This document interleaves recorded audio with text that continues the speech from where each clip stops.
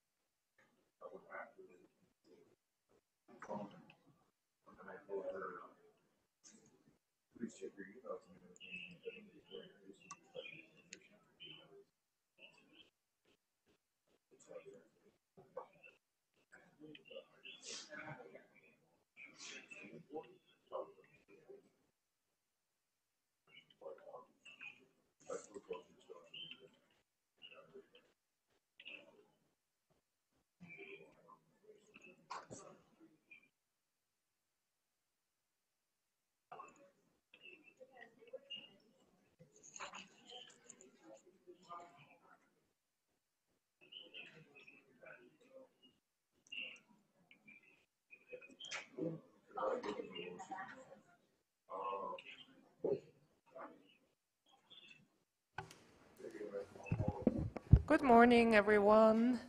Uh, I believe we're going to start. We're still waiting our, for our remote participant, but uh, he might join us as we start with introductions. Um, so my name is Sandra Cortesi. I'm the director of the Youth and Media Project at the Berkman Klein Center for Internet and Society. If you were expecting someone else here, I'm basically a last minute replacement for someone that couldn't be here today, but I hope you're going to be happy with my moderation. Um, the topic of today, uh, the title is basically Unleash the Power of Digital Economy and Society with Mobile Internet. Uh, looking at my colleagues that are gonna uh, that I will introduce in a second, I think the aim for this session is to we I mean, this is day three of IGF now, so we have heard and spoken a lot. Uh, particularly yesterday, I was in a really interesting session looking at social innovation in the global south, uh, and we talked a lot about different examples, uh, challenges and opportunities using digital technology from AI to mobile phones. Uh, and I think what the goal today is, and Patrick and his colleagues who actually organize the session is to also get a sense from you what you have observed over the last year or so, and particularly looking at positive applications or use cases using digital technology.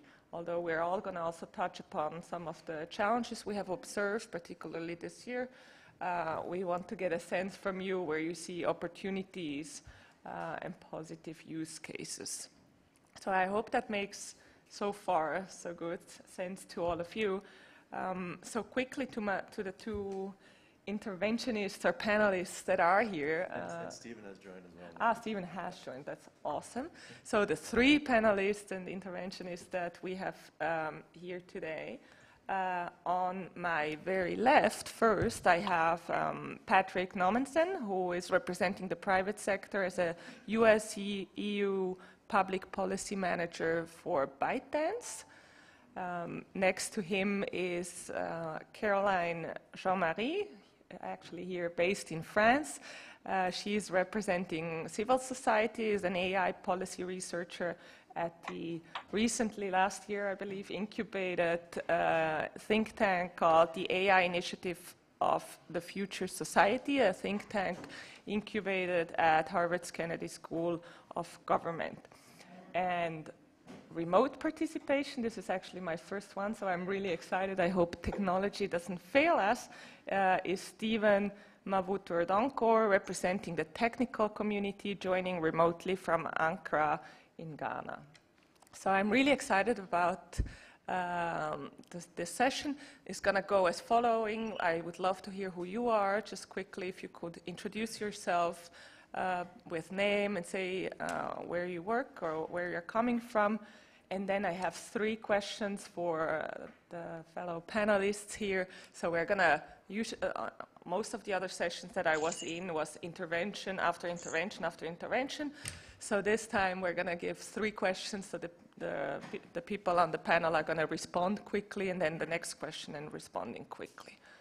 I hope so far that makes sense to you. So if we could start just with a very quick introduction and uh, I don't know if we want to start with Lionel, who volunteered to be the online moderator, also very last minute colleague of mine. Thank you.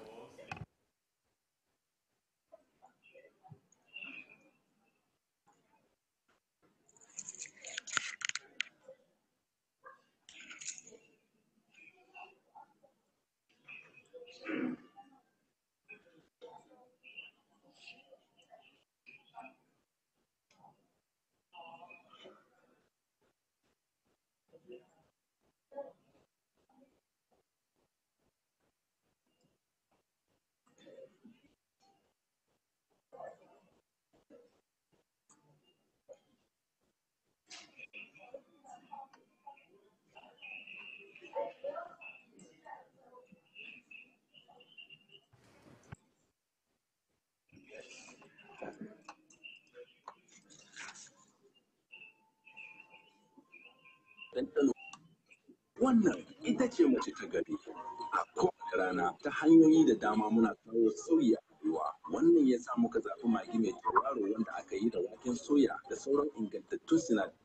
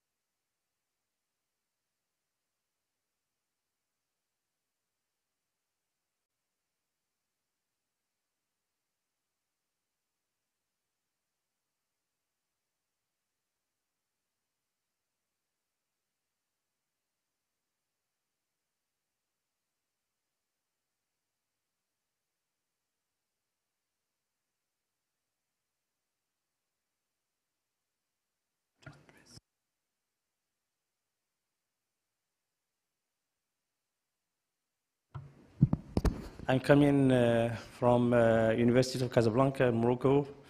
I have some interest in technical aspects uh, like uh, IPv6, uh, cybersecurity, and some other things like that. Hi, I'm Pietro Desideri and I work as a consultant here at UNESCO in the communication information sector. Uh, good morning. Uh, my name is uh, Sasaki. I'm from uh, Japanese Ministry. Uh, Seto. Good morning. Uh, I'm Mr. Mutata from the Ministry Department of Telecommunications. Uh, morning, Rashford Nkundu. I'm the author of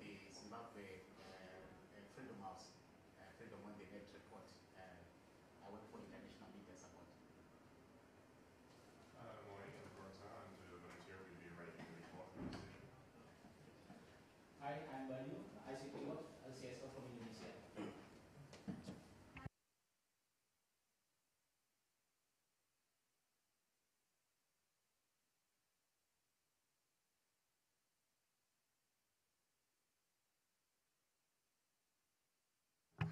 Wonderful. Thank you so much for these introductions. Um, so as I mentioned uh, before, uh, I have three questions for my colleagues here on this panel. Um, and so maybe we start with uh, Caroline. So the first question that I had for the three of you, that I have for the three of you is, what do you do and what does your organization do and what's the biggest takeaway from 2018? Thank you. Hi, good morning, everyone. So I'm Caroline Jeanmaire I work uh, for the Future Society. I'm an AI policy researcher. So the Future Society is an AI and policy governance think tank that was originally incubated at Harvard Kennedy School. And um, we uh, shape the governance, we aim to shape the governance of AI while enabling um, positive, beneficial innovations but still mitigating the downside risks from emerging technologies and AI. So uh, we do so with and for international organizations, national governments, corporations, um, nonprofit, and more. So um, we pursue our mission with research, convenings, as well as moonshot projects, uh, governance projects, um, advisory, and executive education. So um, my biggest takeaway from 2018, like looking at all what happened with emerging technologies um, this past year, like the largest events, is the dire need for more cooperation and trust in um, governance of emerging technologies. So we are um, in an AI and emerging technologies revolution. And because it's unprecedented in scale and in rapidity. But um, doing so, we're kind of a, on a rocket ship uh, together, um, aiming for beneficial future. But in order for us to steer toward this uh, beneficial future, we definitely need uh, coordination as well like pragmatism. So, um, so this kind of convenings here at IGF is necessary with like, as we heard, different stakeholders. So academics, governments, corporations, but we need much more of them uh, because we need trust. So we organized a US-China AI Tech Summit in California uh, last June, and um, we saw the massive innovations happening in China and happening around the world, in the US as well. But what we really saw is that it's possible to find common grounds in applications of technology. So um, AI and healthcare, mobile, and um, the future of finance and uh, inclusion uh, with finance. So we have common concerns, common grounds, um, and uh, this is what gives me hope for the future, but we need to work towards that. Thank you so much, Caroline. Uh, Stephen, if you can hear us, uh, we're curious also to hear a little bit more from you um, who are you, what do you do, and what's your takeaway from 2018?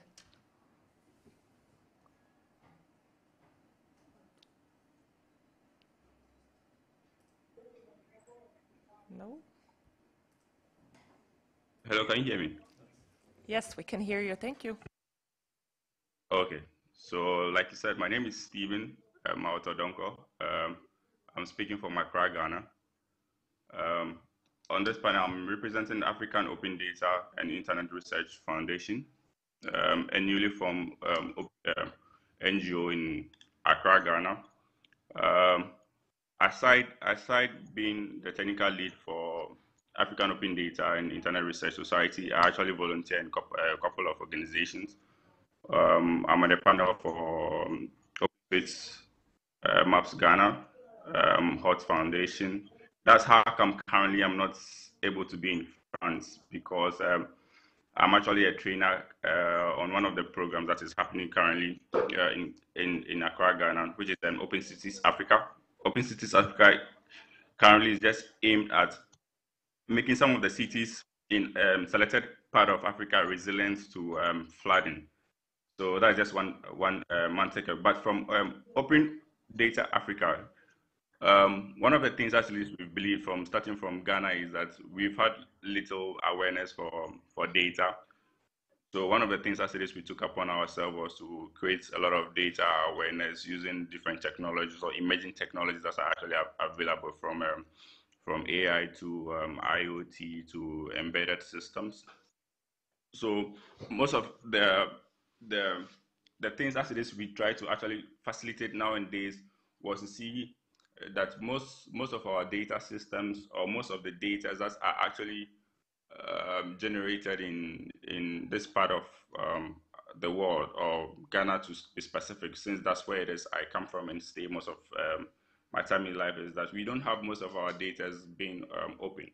So one of the things as it is we are looking at is how best as it is can we educate people on how we can use the emerging technology, whether it's um, blockchain technology, to be able to make whatever data we want to be able to make available as much secured as possible as it is. Whilst it is, um, we are having people to be able to connect and still having security um, at the at the at the back back of our mind.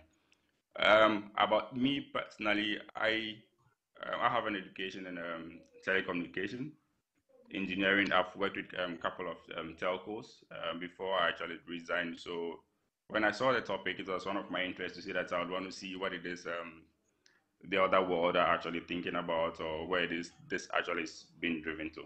That's why I'm here today. Thank you so much. Uh, so Patrick, uh, a little bit more about you. Thank you. Yeah, thank you. Uh, so I'm Patrick. I'm a US and EU public policy manager at ByteDance.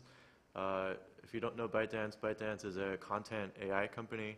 Uh, we have a portfolio of apps, uh, the one that you may be familiar with in Europe or the US or uh, in Asia. Uh, used to be called Musical.ly, is now called TikTok. Uh, it's a short form, mobile native, interest-based video product with about 600 million monthly active users. Um, ByteDance, like I said, is, is, a, is a content AI company, and so we use this AI technology across video um, and across text-based news content. Uh, and we're really excited to be here. Um, so thanks, Sandra, for, for moderating and, and helping organize this. Um, a little bit about uh, the, the kind of key takeaway for 2018, just to keep it brief to, to get to the discussion. Um, I think what we're seeing is a lot of digital uh, platforms uh, and digital companies in general, whether they have platforms or not, are becoming much more aware of their responsibility when it comes to uh, building and fostering safer communities, safer online experiences, um, whether that comes to sharing uh, privacy and security best practices, uh, sharing you know, what is acceptable and what is not acceptable and so forth, online behavior, uh, you know, things like setting a strong password and that whole kind of slew of things. Um, we're seeing a lot more companies take this very seriously and understanding their responsibility um, that they play as a digital player uh, in the market um, and in this kind of digital connected world. So uh, that, that's kind of something that really uh, stood out to us in, in 2018. Um, we're of course really excited to be part of that. It's a, it's a huge opportunity. Um, and uh, yeah. Thank you, Patrick. And I know you wanted to also focus on the positive uh, sides um, of digital technology, particularly in the context of uh, mobile technology and emerging technologies. Um, but second question, maybe right back to you, uh, would be what are two concerns that keep you awake at night, uh, particularly in the context of leveraging the internet for societal, educational, and cu cultural purposes? Yeah, it's a great question. Um, so you know, one of the one of the unique challenges from having a, a pretty substantially sized platform is that there's a lot of new users connecting to the internet um, or using uh, such uh, interest-based video platforms or just online platforms in general for the very first time. Um, or users that uh, are not new to the internet but maybe don't understand how to use such apps or how to protect themselves online and so forth. And so it really relates back to like a key theme that we've seen from 2018 about a lot of companies taking more proactive stance and, and doing, you know, you know taking responsibility and so forth. But with that also comes a, a, a big challenge, right? Um, we, we've done a lot this year in terms of publishing safety center materials, uh, releasing more privacy and, and safety-oriented uh, settings and, and controls and features within the app, uh, partnerships with NGOs and providing resources to users and so forth, and getting public awareness out there. But what keeps me up at night is that you know there's a lot of people, right, that these contents need to reach, and of course there's always more that can be done to reach those. Um, and so that's a that's a that's a pretty big challenge um, for us and really the whole industry to address. Thank you so much, uh, Patrick. Caroline, maybe what keeps you up at night? Two, two concerns, maybe. Yeah, and I think it's quite literal because I think these are like big issues. So uh, I think this is a very interesting question and serious question. So um, I would think uh, about cybersecurity issues. So cyber attacks and hacking are actually um, very large issues because we have more and more devices connected to us. So through our mobile phones, we have IoT, wearables, we also have toys, so for children. Um, and we have more and more data to be hacked and, um, or to be spied, or just to be um, taken over and shut down. So um, this involves quite a lot of challenges and in the meanwhile, we have a shortage of talent in cybersecurity. So this is a challenge uh, that we, we need to solve. And a second challenge would be manipulation. So that would be like for commercial purposes, for example. So um, fake videos or um, hackings, but also like um, targeted ads that have a very strong power uh, for mass manipulation. So this is something uh, we are we are like worried about, but at the same time we saw that there are um, projects emerging to stabilize cyberspace. So uh, the concept of digital digital peace, for example, is pretty interesting to me. Um, the idea is that we want to have peace and safe uh, cyberspace, free from um, hacking, etc., or at least with fewer hackings. So um, we're working towards that. Thank you so much. Stephen, if you can still hear us, what are two concerns that keep you up at night?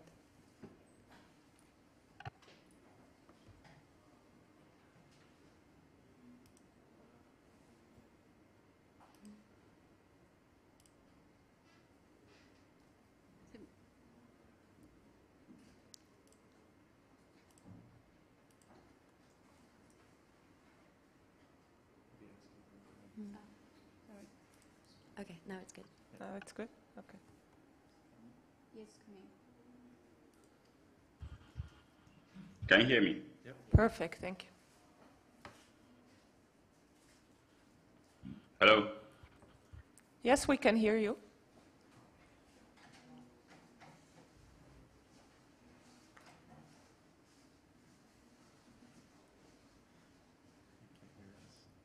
Oh, Um, the main ones that actually is at the at the back of most people's mind is actually hacking. Um, hacking in the sense that uh, you being able to have whatever system or more data is being connected now. One of the main concerns is how secure those systems are as it is you are allow, allowing access to as many people as, as possible. But um, with me, general, generally, as much as it is there is increase in technology, increase in access to internet, but we still have a huge amount of um, communities that are still not connected to mobile phone or the internet.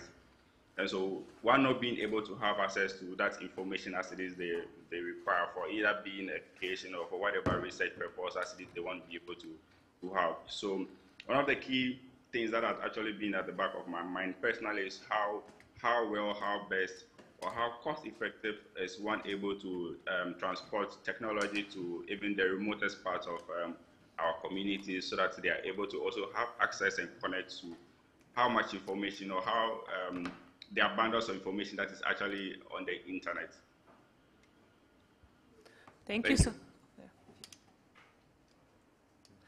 And since we have you already on the line, and that's uh, quite complicated, it seems, I, I also have a third question for you that maybe you wouldn't mind answering. So the third question would be, what are two themes or areas of focus that you're looking forward to in 2019? So what gets you excited or where are you optimistic?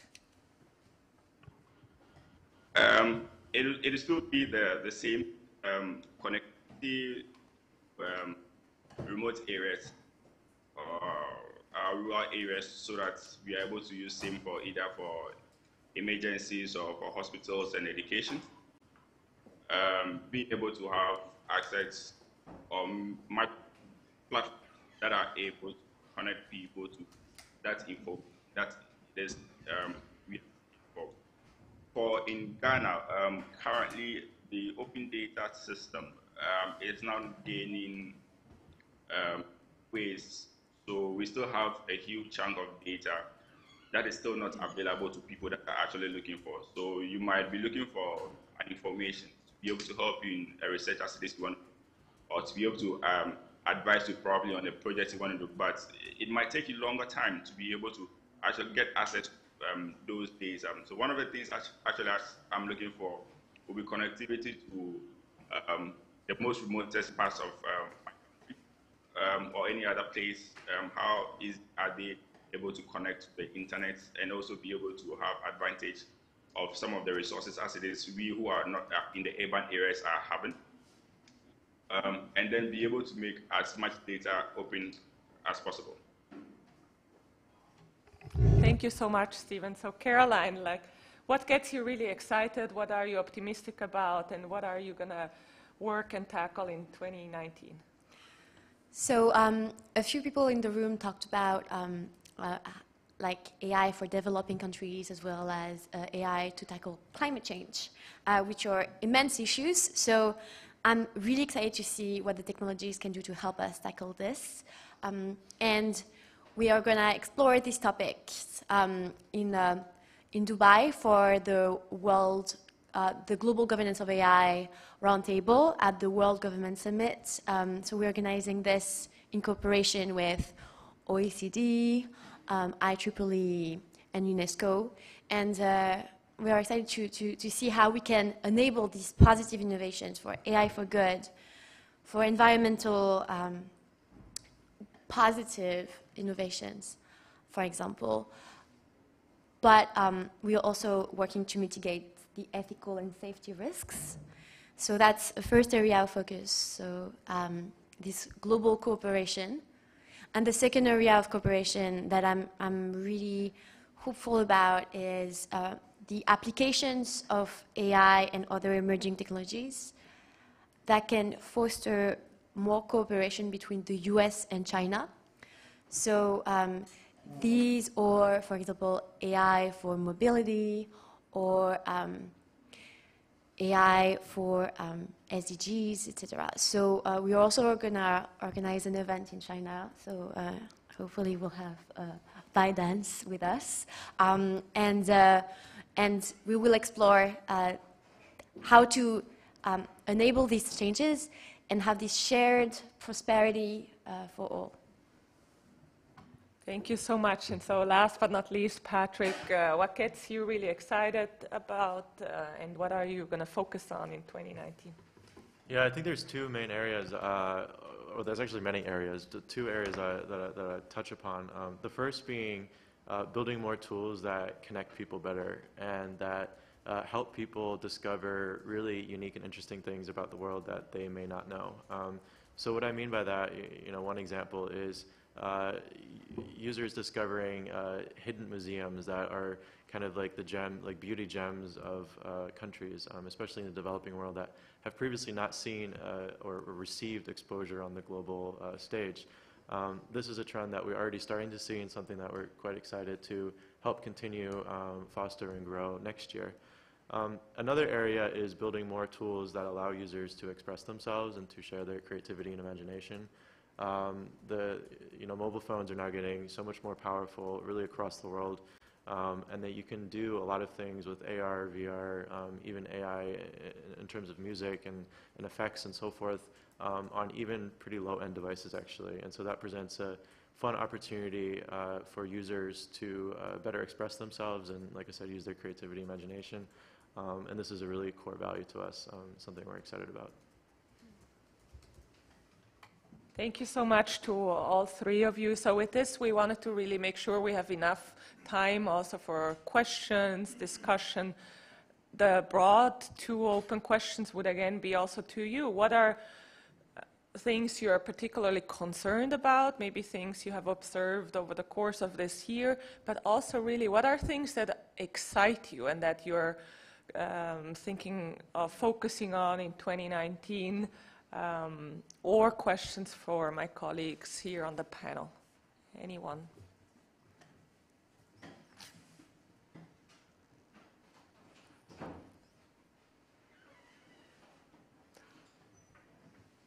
I know it's, it's day three, but maybe it could also be an observation that you had from the last two days. Is there something you heard that maybe also surprised you that you said, now going home, this is something that really makes me optimistic and I'm going to continue to tackle it?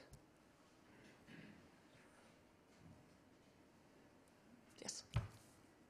And if you don't mind just quickly introducing yourself again, I'm supposed to remind people of that. Uh, hi, my name is Alvaro Crow. I'm from Colombia. And, well, I, I heard in these days actually a, a, like a really good idea about how to use um, IE in order to help in, in environmental, uh, help to the, the environment. And, and is that maybe there are forms to introduce i.e. in environment in in the information system of some enterprises that use um, raw material and then manufacture it because if you have the data of how many consumers or how many clients are, are going to purchase your products, maybe that information is useful to uh, adapt your supply chain in order that you tell your suppliers how many material you need. So uh, I think that's a good idea because, well, if you know how the, the quantity of material that you have to manufacture, then you can help the environment producing less trash with, with, with the information you are receiving. And you can give satisfaction to your customers as, as well. So I think that's a good idea. Thank you so much. Any other one willing to share uh, a takeaway from the last two days or something that you're going to focus on for the next year that you're really excited about? Yes, please.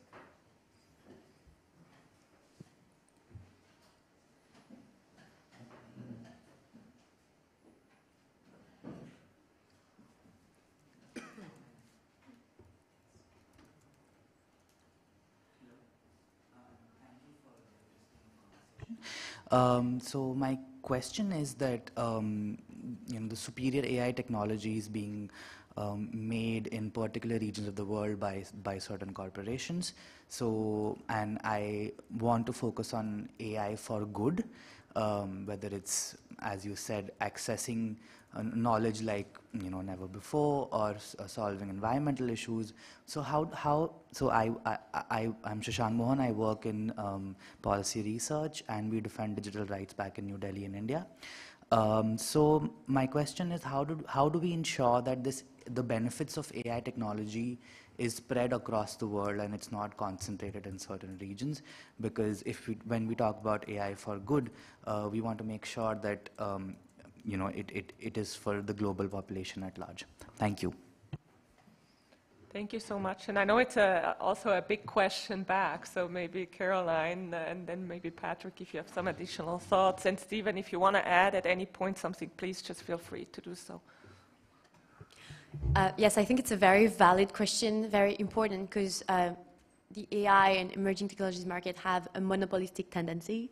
Um, so to, to concentrate in the US, in China, or um, in Europe, or like a center. So that uh, these are um, very important issues, and that's why a lot of countries have uh, have released recently na national policies on AI. So, um, for example, France uh, released a, a, policy recently, um, but Indeed, uh, India as well is working on becoming an AI garage to incubate um, AI projects for developing countries. But I think it's a, it's a very important question. So I would say like national strategies need to, um, need to focus on areas of comparative advantage of uh, their countries. So um, that, that's probably a very important factor. And then a second factor that I think is, is really important for all countries is invest in talents. So talents are um, a scarce resource uh, for AI development, and uh, if you have it, if you develop it, uh, then you, you have more chance to catch up. And finally, I would say that there is a, a responsibility for uh, governments, international institutions, and corporations to, to find ways to share um, the benefits and the applications of AI. So there are different ways to do so. There are nonprofits that are working on this. AI for All is, a, is a, for example, a nonprofit uh, in the US working on like, but uh, to, to teach women of colors how to code. But this kind of innovation, this kind of innovative uh, associations need to be um, scaled. And um, finally, like open access to uh, applications of AI um, would be a solution.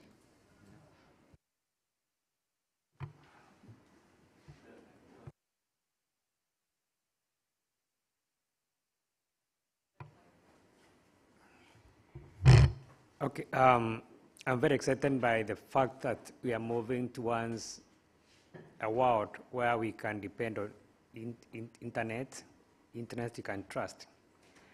My main fears, obviously, are on intrusion, privacy, and personal space. I'm not sure how we can uh, do, how can, how can we avoid uh, interference with people's uh, confidentiality and privacy. Number two, as we do work towards depending on internet and trusting the digital technology, the question is, do we have safety measures that these systems and technologies will not fail? Because if there's crash worldwide, or even in a country, in a region, one day, we are people who don't know the real world sufficiently to be streetwise. Anyway, we want to work, any medicine we want to do, any shopping want to do is online. What do we do?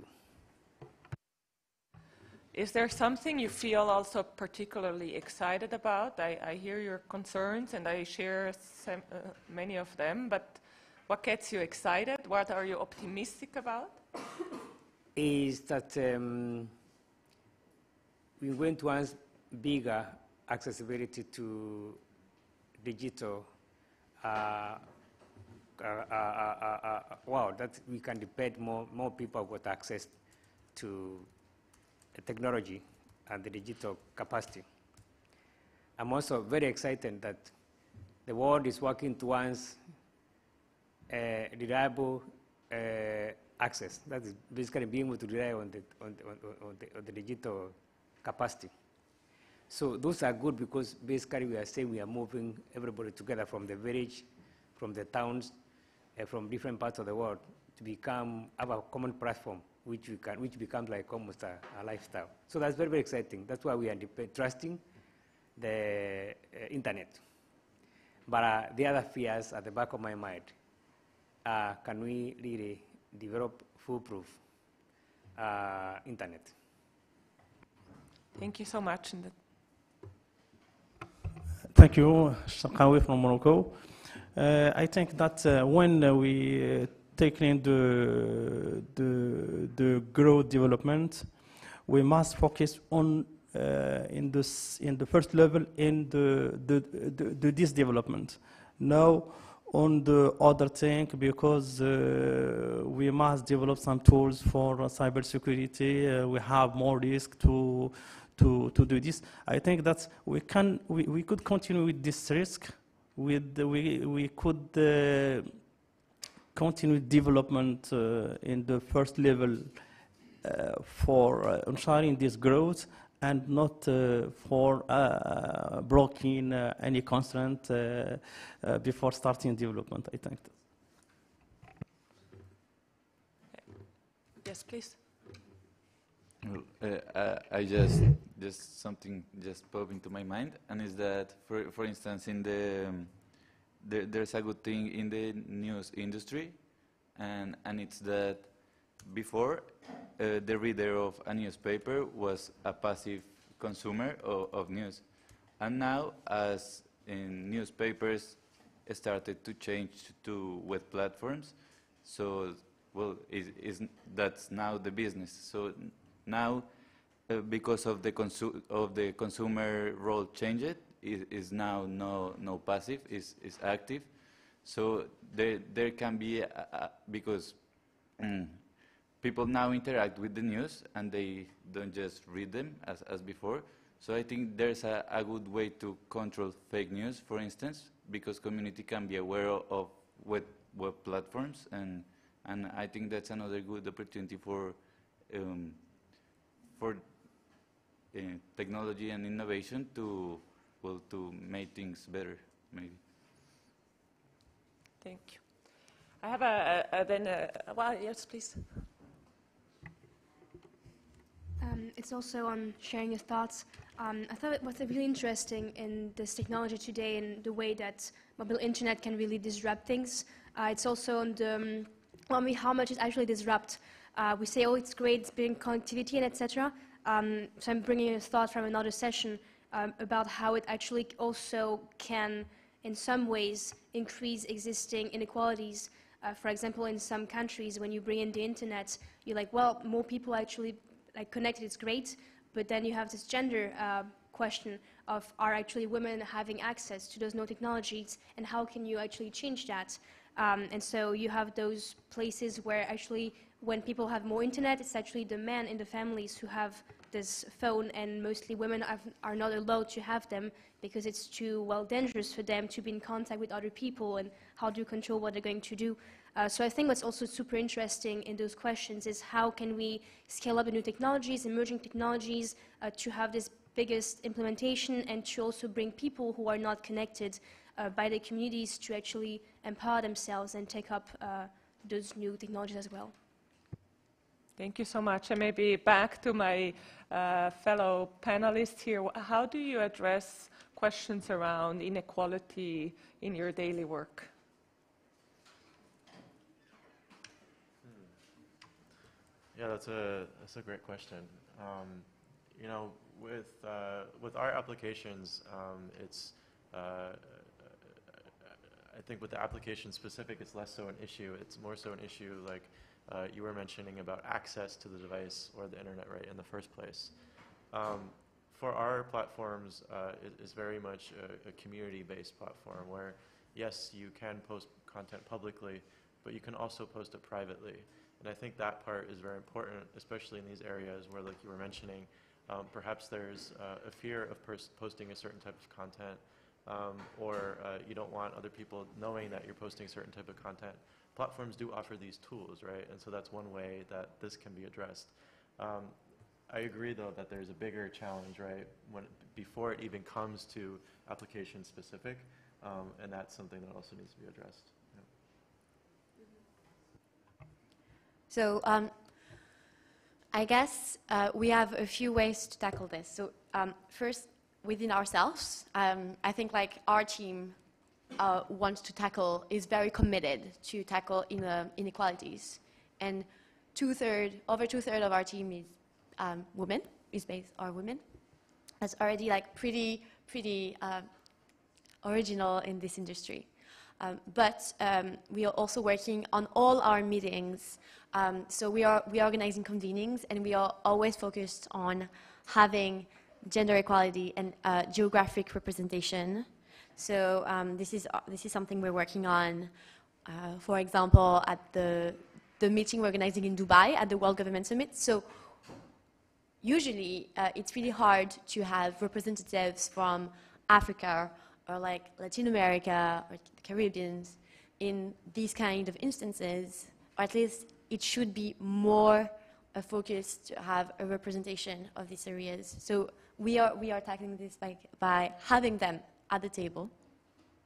And the second way we are tackling these problems is, um, is by working on, because we know this is not enough. Like the problem is like we, we still have probably like, um, like the heads of the leaders of these countries and not like a whole, a full representation. This is just a process that is starting, uh, but we are very aware of this. And, um, and the second way to tackle this is to actually work on research uh, on these topics. So we are working um, with uh, Harvard students uh, on a project uh, in collaboration with the World Bank on uh, AI and digital innovation for developing countries. So like how to develop a framework that can be applied to developing countries um, so that they are empowered.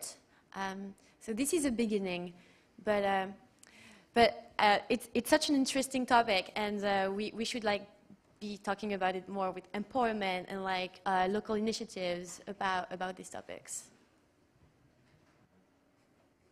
So really just a follow-up remark on, I think it's great that things are actually already thought about it, and it's not just about access actually uh, to the technology itself. Uh, there's also all the questions about uh, how safe you feel uh, also online, because there's a lot of cyberbullying, especially against women or LGBT communities, uh, minorities generally.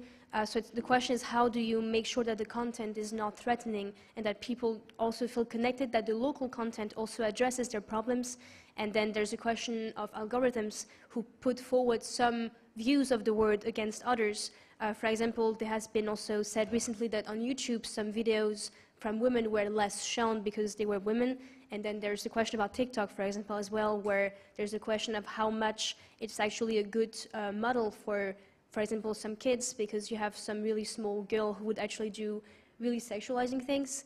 And then the question is, how do you feel like this? What does it bring as a, an image uh, to you when you are really young and exposed to things? So there's a lot to do on AI and algorithms on that too. Yeah. Yeah. Uh, I think an important part of that, uh, in terms of the content, right, like you were saying, like what is acceptable and tolerable um, and not only right black and white, but really what does the culture expect, right? And what do the people wish to see and wish not to see in the various countries and markets around the world? Um, we think the only way to really address this uh, accurately, right, is to have a very localized approach when it comes to moderation, for example, and really understanding and respecting the norms that might take place in these places around the world that you know we in our position may not understand um, from the start, right? Um, and so this is something that we're doing. Uh, we have moderation in many countries around the world um, and working with, you know, uh, advisors and so forth to understand this. Um, and that's helped a lot in, in regards to that. Yeah. Yes, please. Okay, thank you. And thank you also to the panelists for the talk. Um, just wanted to stress a previous uh, question on uh, data privacy and data concern, especially because AI is uh, the elaboration of a huge amount of uh, personal data that are fed the algorithm.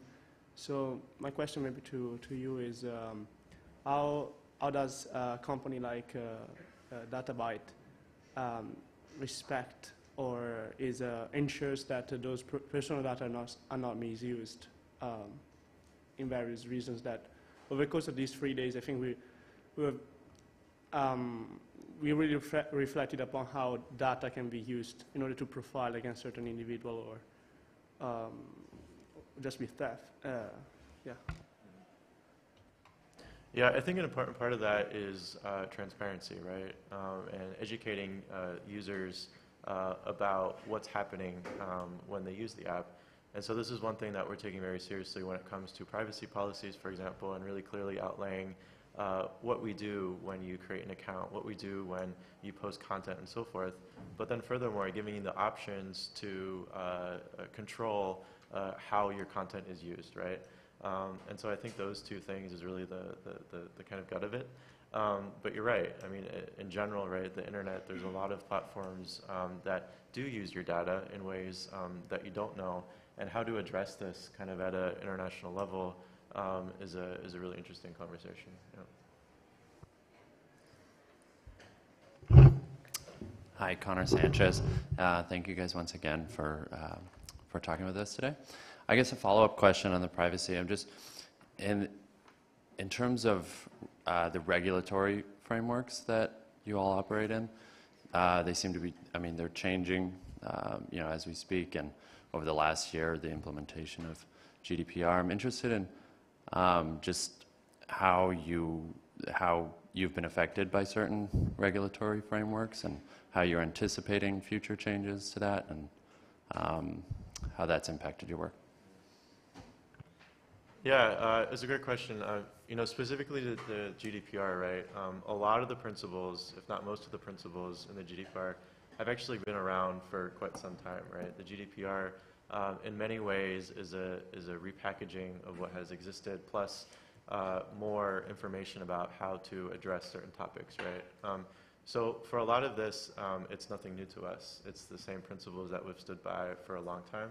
Um, I think what GDPR uh, brought that wasn't brought before was this kind of mass awareness to the public, right, about uh, what you should expect from internet companies um, and, and so forth.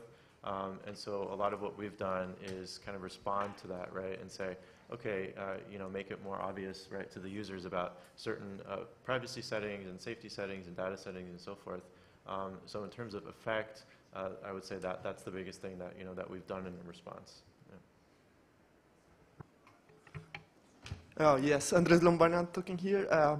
Just to follow up uh, what you were describing, Caroline, about this framework for the developing countries uh, of AI that your, your uh, project is developing, um, I wonder how the data uh, aspect fits here, especially in relation to data governance and like how this framework is actually empowering these countries or, or these cities around the world that are like perhaps uh, that are lacking the infrastructure for processing data or for storing data, uh, and how these uh, places of the world can actually take advantage of AI, uh, even if they lack the infrastructure, the infrastructure, what kind of governance or cooperations, for instance, with the developing world can be established so it's fair and justice. Uh, it's just to, uh, to, to, to deploy these kind of AI technologies. So um, is, your take, is your question more about the infrastructure that is necessary or like the framework, the regulatory framework? You have to wait until it's read now. I would say both. Uh, I, I, was just curious about the framework that you, your company is developing and uh, how it fits both infrastructure and, and regulations. Yeah. Right, so that's an amazing question, and that's what we are working on. Um, so we are we're working on um, enabling industry, um, both like physical infrastructures that are necessary to, to gather data um, and are, that are costly, um, that are sometimes like, are like sometimes environmental costs as well, so we need to, be, to make them also like environmental friendly. Um, so uh, this, this is something we're exploring. So uh, this can be done through cooperation with international entities as well as um, with uh, corporations. So Google and um, other, uh, other, other corporations um, are actually cooperating with uh, countries uh, based in developing uh, places like in the global south to say um, to build these infrastructures but it cannot be done only with um, big corporations. It needs to be an international effort uh, to share prosperity.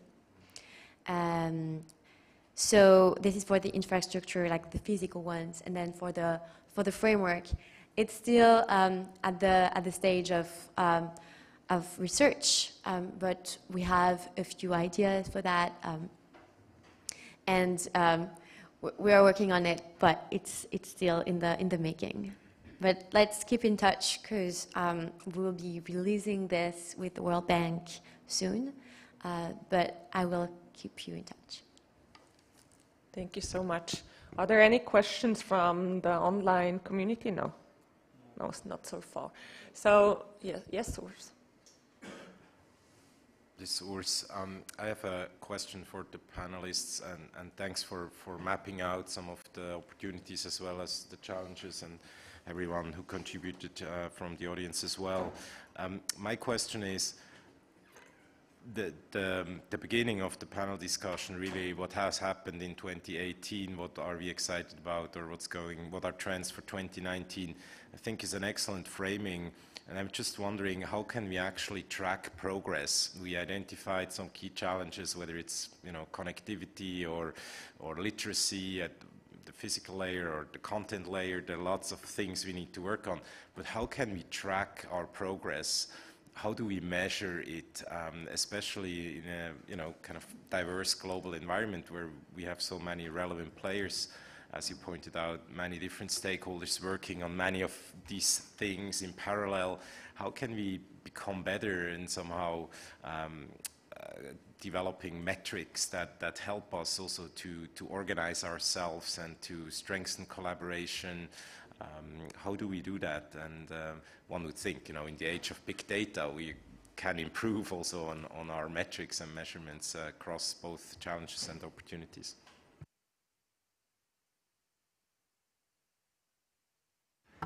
Yeah, it's a, it's a, it's a great question. Um, I think, uh, you know, something that I see a lot, and, and, you kind of alluded to this, is a lot of players, right, in the industry, whether they be private or public or whatever they may be, are doing efforts, but a lot of them are doing them very individually, right? Um, company A is doing this, company B is doing this, NGO A is doing this. Um, I think what, what, what, what needs to happen, um, and, and, we also see this in the nonprofit, like NGO space, right? So many NGOs um, which is really great, um, but there's opportunity for collaboration. Um, and so working more closely with uh, leaders in uh, you know, the local market or wherever it might be, and partnering with them and enabling them uh, is a perhaps a more scalable approach um, than everyone trying to do similar things in the same space. Um, and that would also enable better uh, collecting of data and measurements and improvements and tracking progress over time um, because there is uh, one, or at least, uh, you know, there will never be one, right? But a lesser number of uh, uh, uh kind of experts and NGOs and leaders involved in that particular issue. Um, that seems um, um, a great idea, and that we need to, to work on that to assess impact and to see whether we are advancing or not. Um, so, um, a few things come in mind when, with regards to what is already being done. So um, the AI Now Institute at NYU is working on a way to measure algorithmic biases and to, notably for public organizations. So it's called algorithmic impact um, measurement or like a similar wording. And this is already like a good way to measure these kind of ethical problems and progress um, and a few, a few labels are, are emerging. They are still in the making for AI and ethics and transparency. Um, so we need to improve and work on them.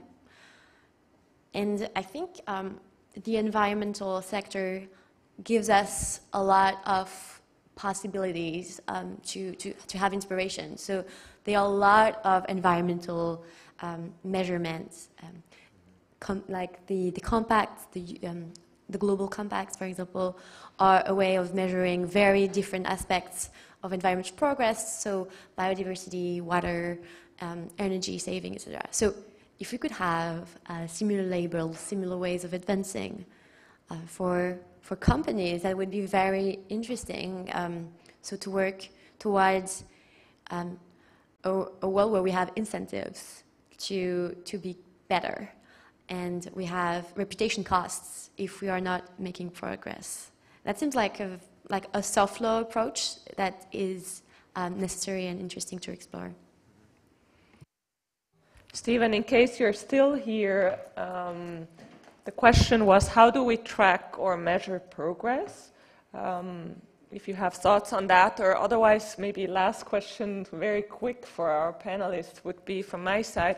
What do you wish, and I mean, we're, we really wanted to also focus on the positive sides and positive applications. What's one area that you feel hopeful and optimistic about, but you can't tackle yourself, and you wish our colleagues here in the room uh, might address uh, moving forward? And Stephen, if you can hear us at any point, feel free to speak up. Hello. Perfect. Stephen, so how do we measure and track progress? Okay, um, I think um, Caroline and um, Patrick, if I got the names right, are doing um, excellent well. I think they're, they're answering the questions as it is. They're, they are coming perfectly. Um, but in, in Ghana, one of the, the things as it is uh, Patrick was saying is that we're having different organizations that are doing their individual things. Um, in Ghana as well, we've noticed that because we've realized that we've had different people that are trying to solve the same problem, like absolutely. So um, we don't even really know how best as it is, how far it is one person is going. So what it is, um, UNDP in collaboration with some of the organizations have done now bring all those organizations, post NGOs under one umbrella and let's see where it is are trying to go, where it is are we trying now. And so currently, like to even look at um, one of the open data platforms, they are now trying to collaborate with World Bank and um, most of the other organizations that are trying to solve the, um, the same goal, the same agenda. That tomorrow, when somebody says he wants A or B, we know that this is where the driving force is actually um, driving towards. Apart from um, trying to now do the same thing, there is no way we are able to track um, what is going on unless otherwise there is a policy that is actually laid down that's okay, this is where um, a country is choosing to actually go. But apart from that, like as it is, um, Patrick is saying, it is um, a group of people, a group of organizations, a group of NGOs coming together to actually drive the same cause, have the same um, um, um uni unified that actually talks to each other so that uh, irrespective of where person A or person B is, can actually really know where a cause is being driven towards. Thank you. Thank you so much. And so maybe um, since we're already uh, at time, maybe a mini tweet length, what do you hope others would focus on that you yourself cannot? Okay, uh, understanding more AI policy in China to build more trust and understanding. And uh, there is a newsletter that I recommend is by Jeffrey Ding uh, of Future of Humanity Institute at Oxford. So Jeffrey Ding newsletter on AI, and it has translations um, from Chinese news. And I'll just quickly say, um, I think in one word, it's education. Um, and we, you know, we think education um, uh, in the context of the developing world, right? But it's really also a challenge in the developed world. Um, you know, regardless of age, regardless of uh, what devices you have and have access to and, and, and so forth, um, there's always more that you can learn about making yourself safe and using technologies uh, better. Um, so, so I would sum it up in, in education. Yeah. Thank you so much. Stephen, if you can still hear us, what's one thing you wish uh, the people here in the audience would focus on next year that you can't yourself?